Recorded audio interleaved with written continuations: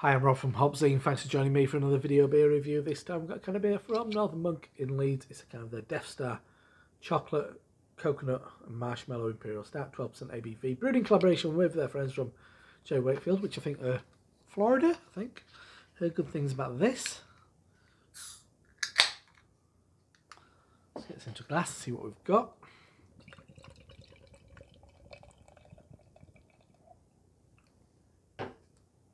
As you'd expect that ABV, absolutely pitch black. A kind of like a mid-brown, kind of milky chocolate froth on top. Decent amount of life for a beer of that size. Anyway, smell and sniff. Let's check out the aroma. Ooh. Wow. Boozy. Boozy, yeah. It's a lot more grown up than I was expecting, which is good could be just silly pastry stout, but it's not.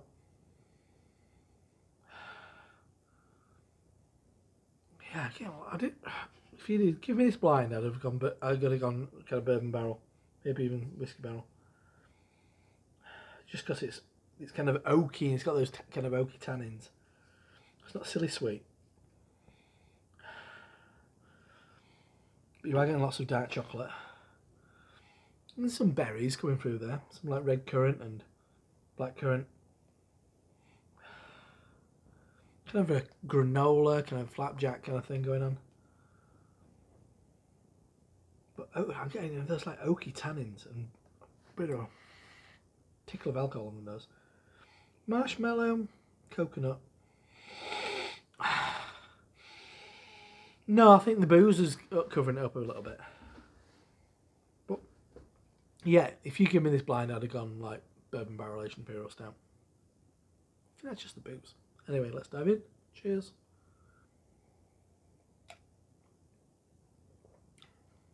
Oh, mm.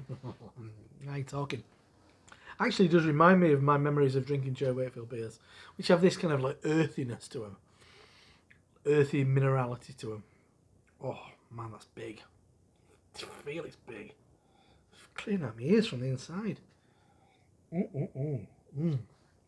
Good though. Chocolate. Rum and raisin. Like a burnt wood character. Yeah, you get a softer caramel. I guess that's probably going in the direction of the marshmallow, bringing that kind of sweetness in there. Not getting a hell of a lot of coconut, but doesn't mean it's not there. I just think there's just too much bigger flavours to even notice that.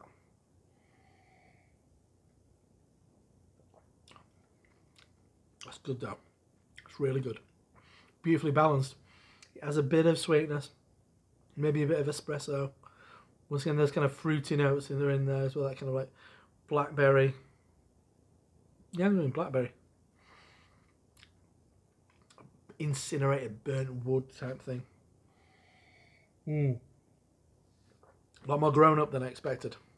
But it very much reminded me of those experiences of drinking J Wakefield beers. Yeah, it's got a cleanness to it as well. Yeah, that's really good.